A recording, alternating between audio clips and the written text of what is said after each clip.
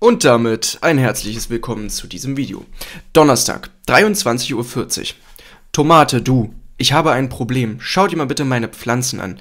Ich habe genau nach Düngeschema gedüngt und jetzt sehen meine Pflanzen so aus. Was soll ich machen? Ich habe alles genau so gemacht, wie man es machen soll. Das kommt euch bekannt vor? Täglich bekomme ich einen Haufen Anfragen wie diese, bis ich die ganzen Gemeinsamkeiten dieser Nachrichten entdeckte. Genau nach Düngeschema. Bevor wir aber richtig ins Video reinstarten, ihr wisst, billige Eigenwerbung. Wer noch einen Vaporizer sucht in der Black Week, der soll mal auf unserem Shop vorbeischauen. Da gibt es aktuell die günstigsten Angebote für Storz und Bicke Vaporizer in ganz Deutschland. Also wer noch günstig einen snacken möchte, soll mal vorbeischauen. So, weiter geht's. Was sind Düngeschemen? Düngeschemen sind Dosierungsempfehlungen, nach denen man den Dünger einsetzt. Angegeben wird meist die Düngemenge pro 10 Liter Gießwasser, aber das ist von Hersteller zu Hersteller unterschiedlich. Diese Angaben sollen ein Richtwert sein, dass man sich eine Vorstellung davon machen kann, wie man den Dünger einzusetzen hat. Mal eine kleine Visualisierung, um das Wieso dahinter zu erklären.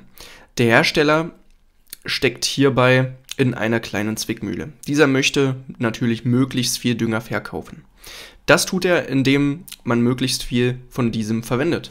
Daher sind Düngeschemen im Allgemeinen sehr großzügig angesetzt, weshalb man mit mineralischen Düngern zum Start mit 40 bis 50 Prozent des Düngeschemas anfangen sollte.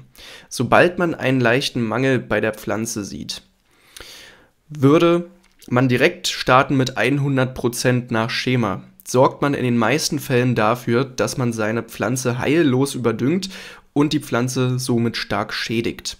In dem Fall wirkt der Dünger nicht zur Ertragssteigerung, sondern zur drastischen Ertragsminderung.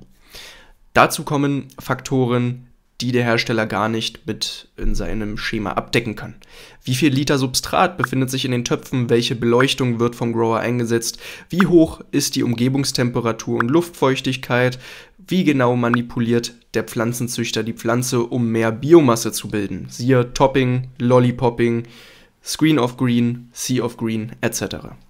Ihr merkt, jeder Grower, aber auch jede Pflanze kann sehr individuell sein und daher ist gar kein allgemeingültiges Schema ohne Anpassungen möglich. Schemen sind eine gute Sache, um eine grundlegende Idee zu bekommen, wie stark der Dünger ist und in welchen Zeiträumen man ihn einzusetzen hat. Aber man sollte sich nie allein darauf verlassen.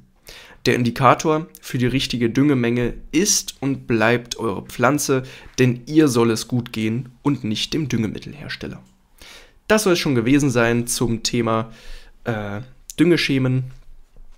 Ich blende euch hier nochmal ein kleines Beispiel ein von einem Hersteller, der es heillos übertrieben hat mit den Angaben. Und äh, wer es sich traut, kann diese Angaben mal gerne probieren und feststellen, dass das nicht funktioniert. In keinem Fall. Ja, dann wünsche ich euch noch eine schöne Zeit. Schaut mal im Shop vorbei und bis dahin. Ciao.